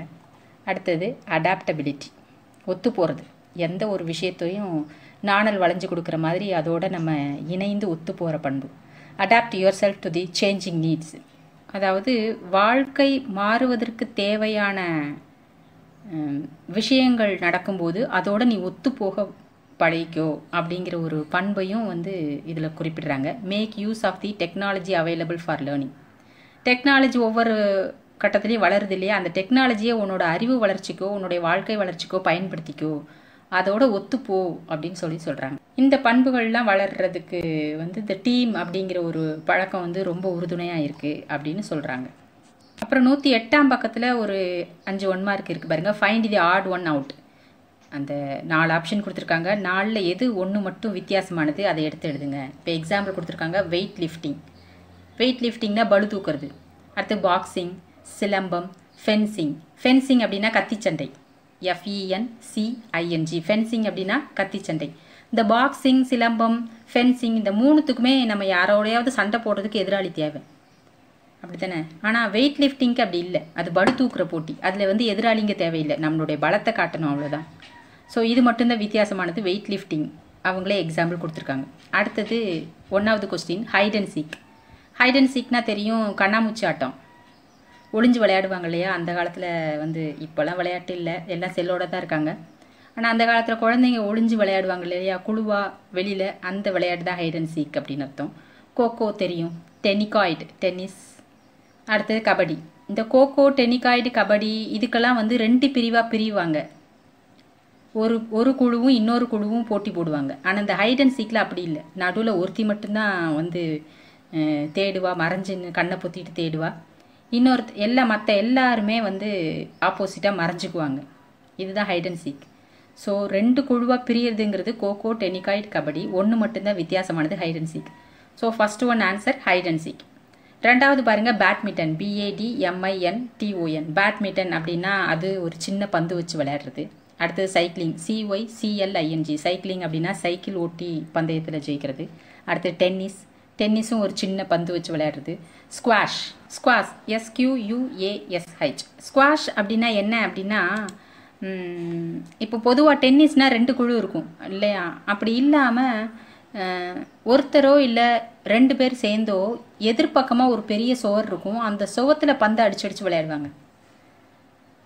அதுக்குன்னு தனியாக ரூல்ஸ்லாம் இருக்குது அந்த மாதிரி ஒரு விளையாட்டு தான் ஸ்குவாஷ் ஸோ மூணு விளையாட்டுகளில் பந்து யூஸ் பண்ணுறாங்க பேட்மிண்டன் டென்னிஸ் ஸ்குவாஷ் ஆனால் சைக்கிளிங் சைக்கிளிங் அப்படிங்கிற ஒரு விஷயம் மட்டும் தனியாக இருக்குது ஸோ அதுதான் ஆன்சர் சைக்கிளிங் அடுத்து மூணாவது ட்ரப்பீஸ் ட்ரப்பீஸ் டிஆர்ஏபிஇ இசட்டி ட்ரப்பீஸ்னால் என்ன அப்படின்னா அந்த இடத்துல துணியை வந்து தொங்க விட்டு அந்த துணியில் வந்து தன்னுடைய வித்தையை காட்டுவாங்க. அந்த மாதிரி ஒரு விளையாட்டு தான் ட்ரப்பீஸ் அடுத்து throwball T H R O W throw ball B A L ball throw ball வந்து பால் வச்சு ஒரு பெரிய பால் வச்சு விளையாடுறது பவுலிங் அதுவும் ஒரு பெரிய பால் வச்சு விளையாடுற விளையாட்டு தான். அடுத்தது கோல் பால் கோல் பால்ங்கிறது பாதிக்கப்படுவாங்களே விஷுவலாக பாதிக்கப்பட்டவங்க மேக்ஸிமம் கொஞ்சம் லேசாக கண்ணு தெரிகிற மாதிரி இருக்கிறவங்க மட்டும் விளையாடக்கூடிய விளையாட்டு. அவங்களும் இந்த பால் வச்சு தான் விளையாடுவாங்க. அந்த மாதிரி அவங்க அவங்க விளையாடுறதுக்காகன்னு உலகத்தில் விளையாட்டுகள் இருக்குது அந்த விளையாட்டை தான் கோல் பால் அப்படின்னு சொல்லுவாங்க. ஸோ அதுவுமே பால் வச்சு விளையாடுறது தான். So throw ball bowling goal ball இது மூணுமே பால் வச்சு விளையாடுறது ட்ரப்பீஸுங்கிறது பால் வச்சு விளையாடுறது. ஸோ அது மட்டும்தான் வித்தியாசமானது. அதுதான் ஆன்சர் அடுத்தது நாலாவது கேள்வி ஸ்னூக்கர் எஸ்என்ஓஓகேஇஆர் ஸ்னூக்கருங்கிறது ஒரு சின்ன பாலை வந்து ஒரு டேபிளில் வந்து நிறைய பால் இருக்கும். அதை தட்டுவாங்க இல்லையா? ஒரு பெரிய ஸ்டிக்கில் அந்த மாதிரியான ஒரு விளையாட்டு. இதுலேயும் சின்ன சின்ன பால்கள் தான் யூஸ் பண்ணுறாங்க அடுத்தது போலோ குதிரையில் போய் சின்ன பாலை பேட்டில் தட்டி விளையாடுவாங்க இல்லையா? அந்த மாதிரி ஒரு விளையாட்டு போலோ. ஃபைவ் பின்ஸ் இதுவும் கிட்டத்தட்ட ஸ்னூக்கர் மாதிரியான ஒரு விளையாட்டு தான். ஸோ இது மூணுத்துலேயுமே பால் சின்ன சின்ன பால் வந்து யூஸ் பண்ணி விளையாடுறாங்க. அடுத்தது கேரம் போர்டு ஸோ இது மட்டும்தான் வித்தியாசமானது. நாலாவதுக்கு ஆன்சர் கேரம் போர்டு ஐந்தாவது கிரிக்கெட் கிரிக்கெட் தெரியும் பெரிய பேட் வச்சு விளையாடுவாங்க. பேஸ்பால் பேஸ்பால் அப்படிங்கிறது அடிப்பந்தாட்டம் அப்படின்னு சொல்லுவாங்க. அதுவும் வந்து அதோட கிரவுண்டு வந்து இப்படி தான் இருக்கும். இதுவுமே ஒரு பேட் வச்சு தான் விளையாடுறது. அடுத்தது hockey H O C K E Y hockey hockey தெரியும் பெரிய பேட் வச்சு தான் விளையாடுவாங்க. ஸோ இந்த மூணுமே பெரிய பேட் வச்சு விளையாடுவாங்க. ஆனால் பேஸ்கெட் பால் அப்படிங்கிறது அப்படி இல்லை. இல்லையா? பேஸ்கெட் பால் அப்படிங்கிறது பந்து பெரிய பந்து வச்சு அந்த கூடையில் போட்டு விளையாடுறது. ஸோ அஞ்சாவதுக்கு ஆன்சர் தனிப்பட இருக்கிறது பேஸ்கெட் பால் அப்படிங்கிறது. அவ்வளோதான் முடிஞ்சது. ஒன்றாவது யூனிட்டில் ப்ரோஸ் போயம் சப்ளிமெண்ட்ரி மூணையும் முடிச்சிட்டோம். இனி அடுத்தது இரண்டாவது யூனிட் அடுத்த வீடியோவில் பார்க்கலாம். அது வரைக்கும் நன்றி வணக்கம்.